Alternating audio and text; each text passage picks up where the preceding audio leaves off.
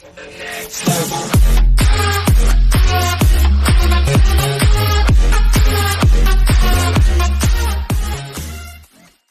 Murder of Jill Dando Review This sensitively produced BBC documentary is a fitting and balanced.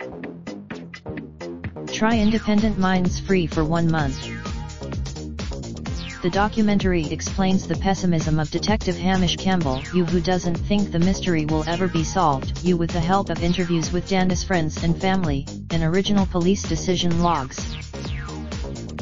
You may have seen some of the recent publicity for this BBC One documentary The Murder of Jill Dando, in which the detective in charge of the original investigation into her death, states that he doesn't think the mystery will ever be solved. Dando was a 30. There are many theories still circulating about why this famous woman with no known enemies came to her end. As one who worked with her work on Crime Watch pointed to a vengeful criminal, her personal life. This sensitively produced documentary, directed by Marcus Plowright, eloquently explains the detective's pessimism, with the help of interviews with Dando's friends and family, as well as Campbell's original police decision logs, which document every important judgment he made during his time handling the case. Filmed in naturalistic style, dwelling on the interviewees during their questioning, Campbell is really the central character here, and he spends a good deal of time explaining the complexity and weight of evidence they had to sift through. We had over 2,000 people named as potential suspects or responsible. Some actions to that, at least partially, accounted for the fact that George, though later acquitted in any event, took a year to be questioned. By the way, Campbell cannot hide his irritation with the criticism that has persisted over the decades though this solemnly, but it's not just the media. Dando's cousin where the documentary works best is when it is focused on the one piece of hard evidence that linked George to the killing of Dando, you a single microscopic particle of gunpowder residue discovered in the inside pocket of George's three-quarter length dark overcoat, recovered from his home. On the one hand, it was an odd thing to be left behind in a coat pocket.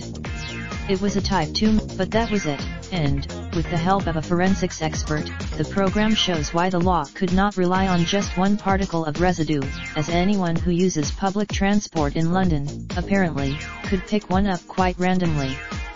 Hence George's event, the conclusion of it all seems to be that, barring some unexpected revelations, Dando's friends and family will not have the closure they so obviously crave. I thought her brother, a tremendously sad, strange story then, and just as unfathomable today. Dando's Friends, the best in film, music, TV radio straight to your inbox.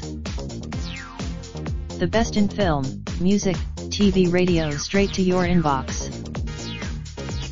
Register with your social account or to log in. You can find our community guidelines in full. Create a commenting name to join the debate. You can find our community guidelines in full. Create a commenting name to join the debate. Your account has been blocked for contravening the Enter your email to follow new comments on this article. Are you sure you want to submit this vote? Are you sure you want to mark this comment as inappropriate?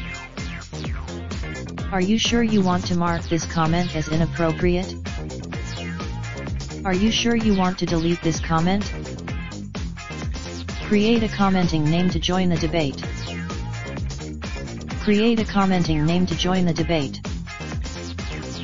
Want to bookmark your favorite articles and stories to read or reference later?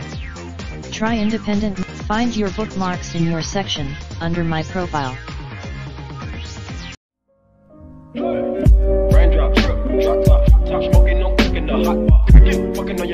Cooking the hot